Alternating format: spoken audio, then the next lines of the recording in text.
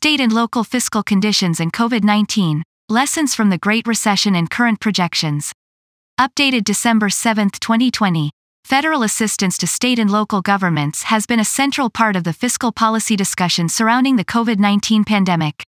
Economic downturns tend to depress the tax bases of federal, state, and local governments and increase demands for certain spending programs. Unlike at the federal level, however, most states and localities have statutory requirements to balance their budgets every one or two years.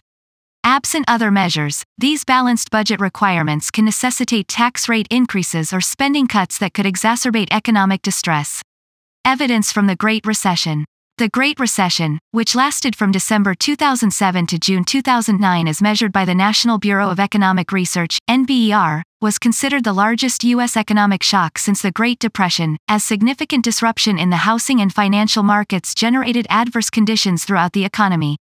At its peak, quarterly real gross domestic product (GDP) declined by 8.4% in the second quarter of 2008, and federal deficits averaged 9.0% of GDP from fiscal year 2009 through fiscal year 2011, their largest values since World War II.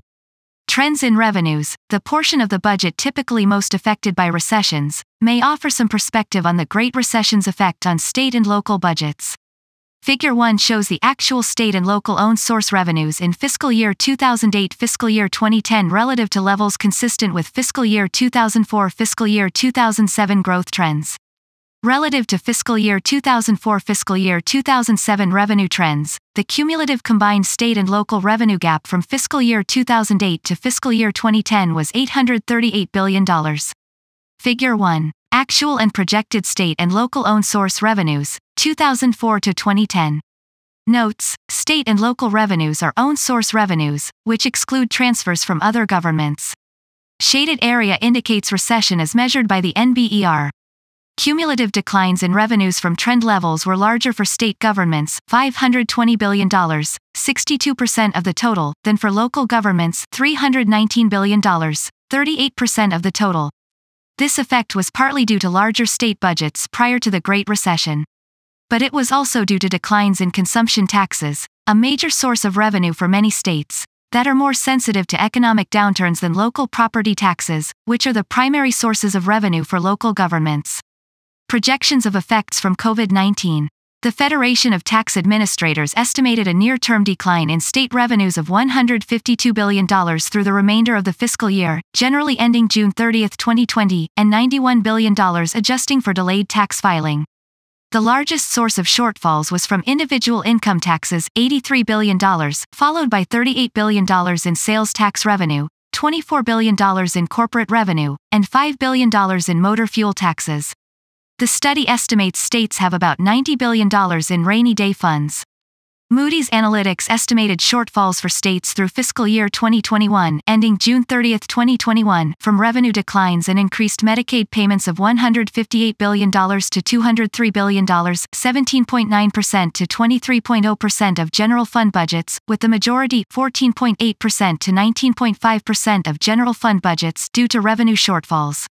States with the largest projected shortfalls have more volatile revenue sources, for example, oil severance taxes or progressive income taxes, or more affected industries, for example, tourism, finance, and energy.